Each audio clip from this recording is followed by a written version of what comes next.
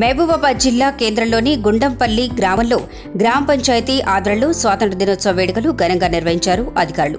అనంతరం గ్రామ panchayat secretary Srikanth today టీవీతో మాట్లాడుతూ డెబ్బై ఐదవ వజ్రోత్సవ వేడుకల్లో భాగంగా రేపు ఉదయం పదకొండు గంటలకు సామూహిక జాతీయ గీతాలాపన ఉంటుందని తెలిపారు. ఈ కార్యక్రమానికి గ్రామ ప్రజలు ప్రజాప్రతినిధులు యువజన సంఘం నాయకులు గ్రామ పెద్దలు తప్పక హాజరు కాగలరని తెలిపారు. ఈ కార్యక్రమంలో గ్రామ సర్పంచ్ పట్ల సలీమా గంగన్న కారోబార్ సత్యహరి గ్రామ సిబ్బంది యువజన నాయకులు పాల్గొన్నారు.